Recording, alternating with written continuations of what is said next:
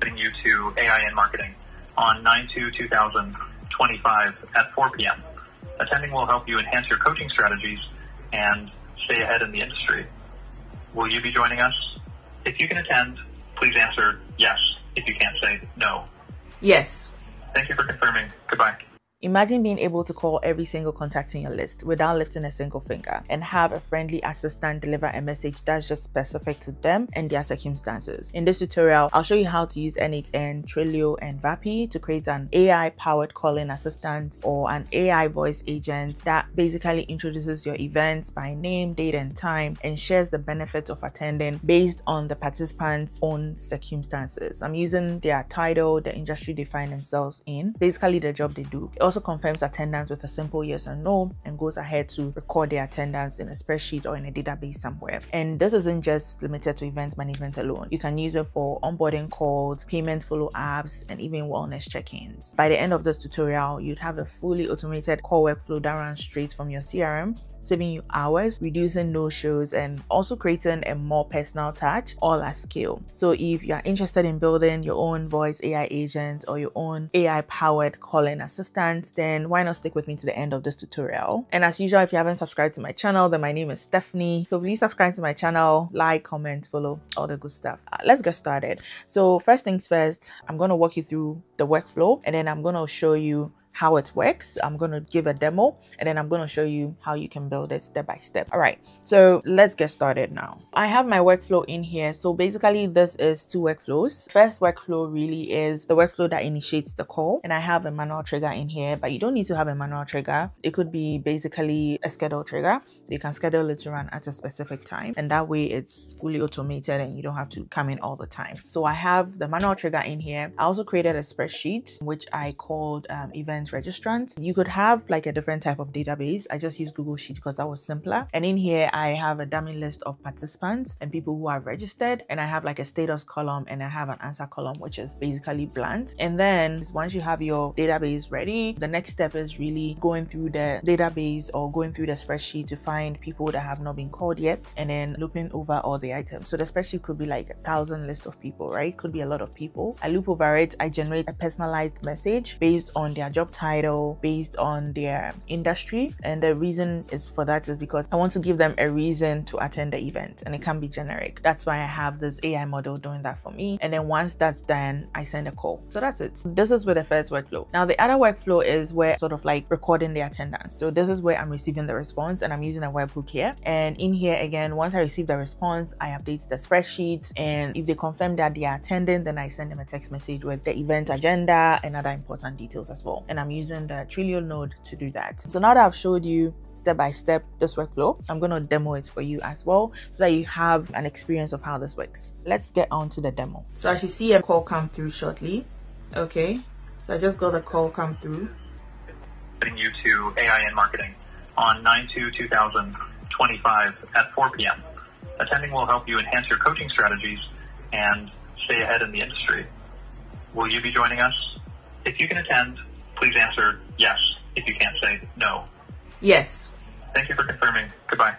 Okay, so now that I've showed you how the demo works, I've showed you how it records into the spreadsheet, I've showed you how the voice agent works, as well as the way the record attendance workflow also works. And let me show you step by step how to build it. So first things first, you need to have N8N. If you don't have N8N installed or you don't have an account, I'll encourage you to create an account with N8N. The other thing you would also need for this tutorial is you need to have Vapi set up. So again, Vapi has a free version and you're able to use like some free phone numbers especially if you're in the US. But if you're in Canada, like I am, then you need to have like a phone number and you need to have a phone number from, let's say, Twilio or Vonage. I got a phone number from Twilio to help me with this particular tutorial. And what this means is that you first need to upgrade your Twilio account. So you first need to create an account on Twilio, follow these three steps. So once you create the account, you get your account's SID information and then you get your Twilio phone number. And the Twilio phone number you get for the free version would be just for the US and it will be just for like trial calls. So if you want to to use this in production and you're not in the US, and I'll encourage you to upgrade your account. With $20, you'll be able to do a lot more. So that's all I did. I created a phone number in Twilio. So once you have your phone number created in Twilio, the next step for you is to come into Vapi. And when you come into Vapi, you just create an account on Vapi and then you click on Create Assistant. So once you click on Create Assistant, depending on your own use case, you can decide whether you want to use existing templates or you can use a blank template. So if you use a blank template, then you just select the blank template and you click on Create Assistant.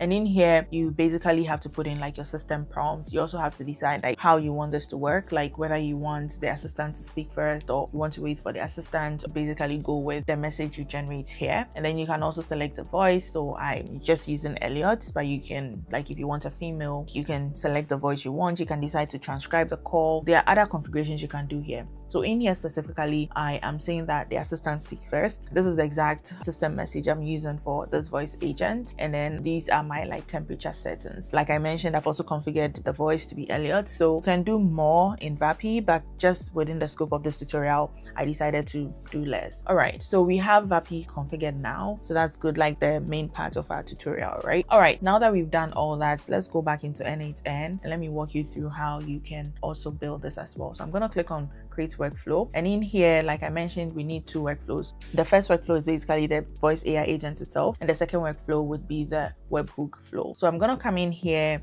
and I'm gonna use a manual trigger like I did. When I click on manual trigger, I'm gonna use a spreadsheet. So you need to create your own spreadsheet or have your own database. If your participants are housed in let's say Notion, then you can connect it to Notion. But for me, I'm connecting it to Sheets because that's quite simple for this tutorial. I'm gonna come in here and in the meantime, the first flow is I just wanna get specific roles in the spreadsheet. So I'm using this event registrant spreadsheet and I'm using the sheet one, which I have in here. So I'm gonna use sheet one and yeah, you can basically execute step now. You'd see that I have some status set as pending. This tutorial is just limited to like sending a text message, but you can also always go back to update this particular status as well. All right, so this is good. As you can see, I have five rows in a spreadsheet. So I need to have like an if else statement included. But before that, I just want to collect specific fields that I need or specific fields that I think would be useful for my workflow. So which is why I have this edit fields here. And in here, I'm just really manually setting like the first name, the job title, the phone number, industry, company name, registration registration status, confirmation status, and some other fields. The reason why I'm using these specifically is I want the voice AI agent to address the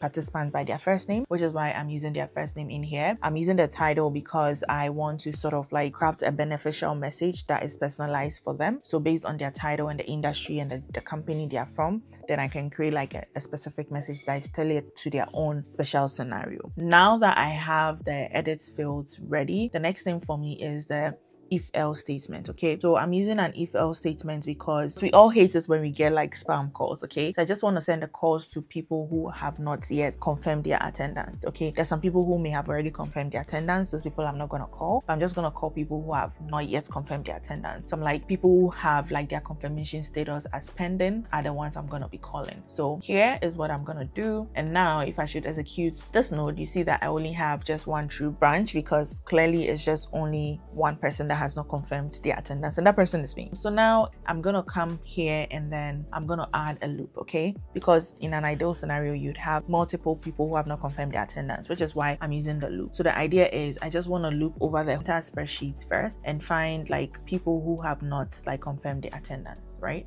So in here, I have my loop and once you bring the loop node here, it says like replace me. So I'm just gonna replace it with my AI model. You can also create an AI assistant in ChatGPT. You can go that route and then call it here, but I'm using this AI agent node in here. And for my prompt user message, I'm gonna be using this exact message, just saying like draft a message for the event participant, okay? And then in terms of my system message, I'm gonna be using this exact system message here. And I'm gonna to drop the template in the description box so that you can use the template as well. So I have this here. I need to select the chat model. So I'm going to use the OpenAI model and I'm using 4o you can use which of these models that work best for you. So I'm using 4o here.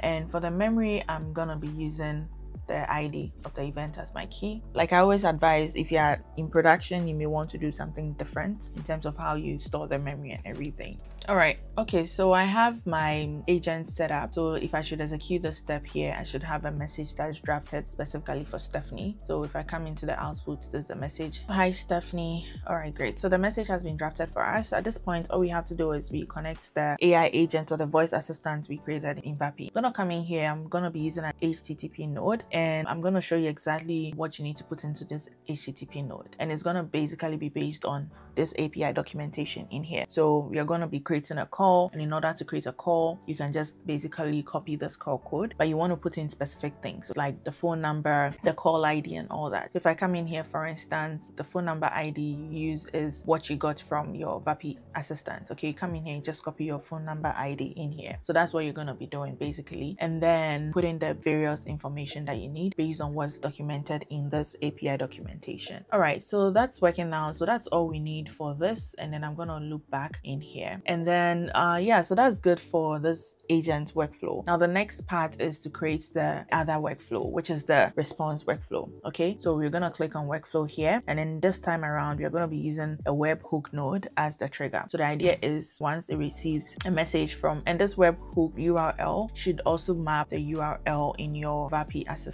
Okay, one thing I forgot to mention in the setup of Vapi is that you'd have to set up a tool as well. So this tool is what's collecting the responses from the participant okay? So in order to do that you just have to click on tools and you click on create tools and then you create a custom tool. And then you have to name the tool put in the description and in the server settings that's where you put your webhook information. And then you'd get like a secret token. You can decide to use that as well if you want to. And then inside the parameters if i come in here you basically have to put in like the answer. You don't need the registrant id if you want to put in the registrant id then maybe you need to also find a way to map it in your spreadsheet. But all you really need in terms of parameters is just the answer so once you have this set up, that's working fine for you. And then you just have to put in your webhook information. So whatever you have inside your webhook node here is what you put inside your Vapi tool. Okay. All right. So this is done. And then you need to have an update spreadsheet. So instead of like getting a row, what you're looking for is to update the spreadsheet. The columns to match on is the ID because the ID we are also passing into our caller. And then in terms of the answer we are passing the answer into the spreadsheet here. So this is what we are updating. And then i'm having an if else statement. So the idea is again if the registrant confirms that they are surely gonna come then basically what we do is say that if it's true then you send them a text message. And that's where we are leveraging Twilio to send a text message. So in here i'm gonna put in like the node for Twilio and yeah so this is the node. It sends a text message to the user. And that's really it. I already demoed how this works in the beginning so I'm not going to run the demo again. That is it for today's tutorial. If you enjoyed this tutorial, don't forget to subscribe, like, share, all the good stuff. Let me know if there are other use cases you'd like me to try out on this channel and I'll happily do so. See you in the next one.